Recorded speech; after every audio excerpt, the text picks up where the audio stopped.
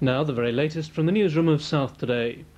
Good afternoon. A Department of Trade inquiry opens today into the cause of a plane crash in Sussex in which nine people died.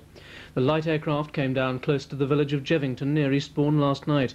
On board were Irish journalists and hoteliers flying from Dublin to Paris to take part in the annual race to bring back the new Beaujolais wine. We've just heard that a Chinook helicopter has crashed into a beech wood near Sutton Scotney in Hampshire. All four people on board the twin-rotor aircraft have been released from the wreckage and taken to hospital. The emergency services are at the scene.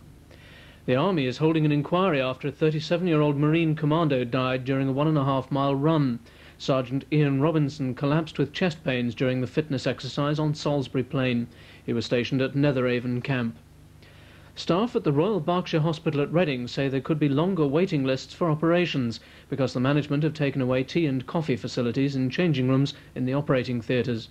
A leading surgeon said the staff were working in high temperatures and they now had to change out of their surgical robes and walk across the hospital for a tea break. The chairman of Brighton's Tourism Committee has accused rival seaside resorts of cashing in on the IRA bomb attack at the Grand Hotel.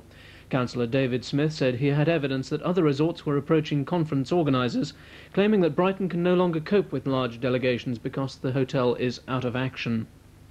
The Southern Water Authority says it's being forced to raise its charges by 11% next year, 6% more than was earlier announced. The chairman of the authority said that a government directive to the water industry had brought about the bigger increase. Finally, a car built 42 years ago has been sold at auction for £3,500 at Parkstone in Dorset.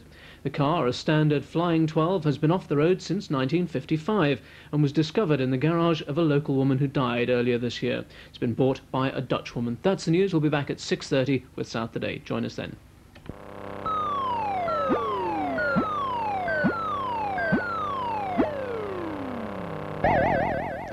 Hello and welcome to Wednesday's Sequence for Children on BBC One, including the amazing SuperTed and a compelling drama about a 14-year-old lad who becomes a thief. We start with Play School presented by Liz Watts and Wayne Jackman.